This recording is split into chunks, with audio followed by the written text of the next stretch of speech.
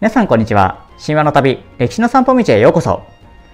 本日は北海道に残る義経伝説の謎というテーマでお話ししていきたいと思います。え？北海道？義経？いやいやいや、待ってくれよ。そんなわけないじゃん。と思いますよね。まあ、義経といえば、まあ、源義経といえば、えっ、ー、と、平安時代末期ですね。あの、源平合戦の時代に、まあ、一ノ谷の合戦、あとはですね、屋島の戦いとか、あと壇ノ浦の戦いとかですね、そういったところ連戦連勝して、ついに平家を滅ぼしたという、まあ、こう、軍事的才能にあふれた、えー、英雄、武将としての一面と、あとはですね、そうした功績にもかかわらず、えー、兄頼朝とこう対立した末に、えー、亡命先の欧州、まあ、今の東北地方ですね、で、えー、藤原康平に襲われて、えー、自らこう命を絶って、えー、自害してしまったという悲劇の武将としても知られています。ですね、こういう、こういう歴史を振り返ってみると、ほら、義経は欧州で最後を迎えてるじゃん。じゃあ、さらに奥の北海道にまで行って、逃げて、えー、行ってるわけじゃないよね、と思うかもしれませんが、こんな話聞いたことありませんか？義経は実は生きていて、モンゴルの英雄、チンギス・ハーンになった。まあ、これはですね、義経が死んだとされている時期と、えー、チンギス・ハンがこう活躍し始める時期がこうちょうど入れ替わった入れ替わりになっているということと、あとはですね、この2人の戦術が結構似ているということがこの伝説の根拠とされているんですけども、こう義経がこうモンゴルに逃げる過程で、え北海道をこう経由したと言われているんですね。で、まあ、確かに地理的にはありえなくはない配置なんです。まあ、もしこれが事実だとすれば、こう日本で活躍した義経と、モンゴルで活躍したチンギス・ハン、この間を埋める物語が北海道の義経伝説ということになるんです。で、実はですね、これ僕が小学生の頃にこう自由研究で調べたテーマなんですね。で、えっ、ー、と、今までももしかしたら、まあ、検索すると、当時このブログやってたので、それが出てくるかもしれないんですけども、えっ、ー、と、今回大人になった僕が、えー、15年の時を経て、えー、当時の研究をもとに再構成してみるという、えー、試みをしてみたいと思います。で、本日の動画ではですね、ま、まずはどのような伝説が残っているのかをこう前編でお話しした上で、後編ではその伝説が実際のところどういった性質のものだったのか、といったことについて、え解説していきたいと思います。さあ、北海道にはですね、そもそもどれくらいの義経伝説が残っているのかなんですけども、あの僕が調べた限りで、まあ、40個近い伝説が残っていたんですね。で、それもこう一箇所だけにこうわーっと集中して残ってるわけじゃなくて、こう各地に残されているんですね。で、あの義経伝説とはいうものの、こう全てが義経本人の伝説ではなくて、あの武蔵坊弁慶、あの義経の家来のあの僧兵ですね。とか、あとはですね、義経の妾として知られるあの白拍子の静御前の伝説なんかも含まれているんですね。で、なんとこの義経だけじゃなくて、弁慶とか静御前も北海道に来ていたということなんですね、この伝説によれば。で残されてる伝説もこう結構多種多様で、まあ、あのポジティブなものもあれば結構こうネガティブなイメージで描かれてるものもあると。であの現地住民つまりですねあの北海道の先住民のアイヌ民族とのこの関わりとして描かれているものが多いんですね。でいくつか例を挙げていきますと、まあ、ちょっとまずネガティブな方からあのお話ししていきたいと思います。である、えー、とあるアイヌの女性とこう同居していた義経ところがある時こう巻物を盗んで逃げて追っ手に向かって「来年も来る!」と叫んだところからこの来年が来年来年来年となまっていってえ来年来年来年来年岬になったという説が、えー、伝説が残されているんです。まあ、いわゆる地名由来伝承の一種ですね、これは。あとはですね、同じくこう巻物を盗んだ関連の話で言うと、えー、義経はアイヌの酋長、まあ、つまり長ですね。が、えーと、その集落の長の、えー、娘と結婚して、えー、子供を授かりましたと。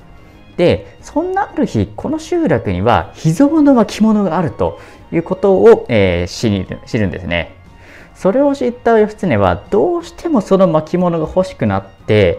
ただですね、その巻物は小さな蛇が番をしているので、どうしてもこう手を出すことができなかったです。なんか毒蛇かなんかなんでしょうかね。で、そこで義経はこう一計を案じるんですね。ある日ですね、この州長の前で、どれどれ、息子を私にも抱かせてくれないかということで、こう妻からこう子供を受け取ろうとするんですね。するとこう手を滑らせたふりをして、えー、子供をこう煮えたぎる鍋の中に落として殺してしまうんです。でこう悲しむふりをして、州長がいない隙に、妻に、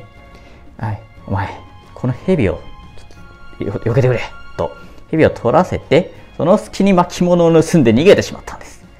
で、その巻物にはアイヌの文字が全て書かれていたんで、それ以来アイヌには文字がなくなってしまったと言われています。まあ、なんか先ほどのこの雷電岬の話よりもよりなんていうんですかね、こう目的のためなの手段を選ばないみたいな、えー、なんかすごいネガティブなイメージが描かれている、えー、いる伝説となってます。で、アイヌはですね、実際にこうずっと文字を持たなくてですね、その伝承は全てこう口伝えで伝えてきたという民族なんですね。で、その説明として、義経がこう巻物を盗んでしまったため、アイヌには文字がなくなってしまったという伝承が語られているわけなんですね。まあ、例えるなら、あの、人間の言葉がこうたくさんの言語に分かれているのは、えー、旧約聖書であのバベルの塔の建設と、まあ、それに伴う神の怒りが原因だと、えー、語られているのに、まあ、似てるんじゃないかなと思います。あとはですね、あの北海道の釧路、あの鶴で有名なとこですね。えー、釧路に伝わっている話としては、こんな話が残されています。ある時ですね、こう目の病気を患った義経はですね、まあ、アイヌがこう必死にこう看病してくれるんですけども、片目の視力失ってしまうんですね。すると、その後の現地の州長がですね、どんな病気でも治せるという、えー、宝を持っていることを知ります。で、その宝を使って、何としてもこの私の目を治したいという義経。ところがですね、そこの州長はですね、あの、その宝を誰にも見せてはいけないというふうに言われていて、なので、義経に使わせてくれることがなかったんですね。そこで、こう、州長が留守の間に、あの、州長の娘にを使って、え、ー、と、その宝のありかを教えてもらって、ついにその宝を見ることができるんですね。すると、不思議なことに、この失明したはずの目がパッと開いて見えるようになるんですね。見えた。で、まあ、そこで終わってればよかったんですけど、なんと義経、この宝欲しくなって持ち持って逃げてしまうんですよ。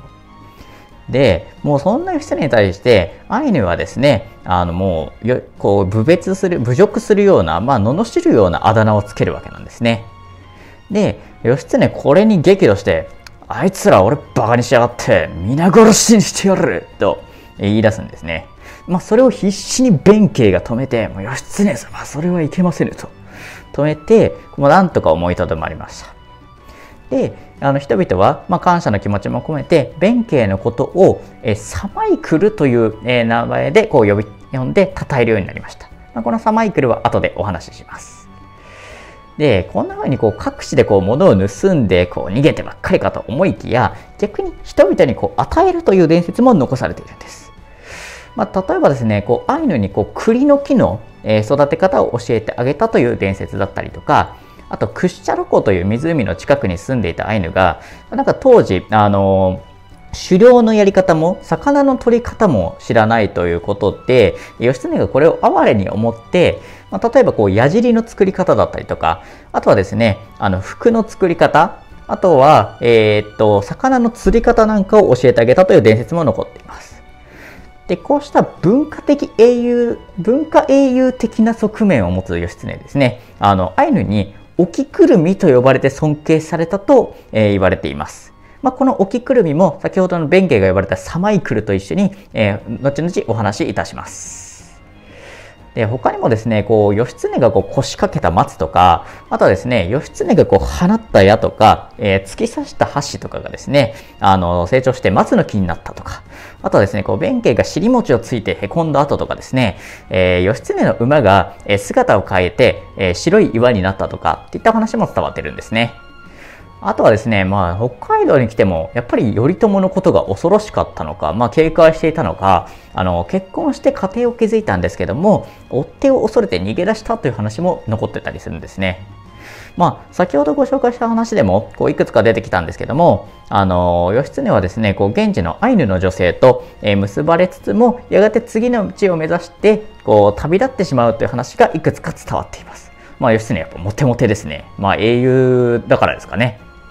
ということで、あの、あとですね、北海道でも、なんか現地の争いに介入してったのか、義経が陣地を敷いたとか、山の頂上で軍勢を集めるためののろしを上げたとか、あとはですね、あの、米俵を運んでいた船が沈没して、それが岩になったといった伝説も伝わっているんですね。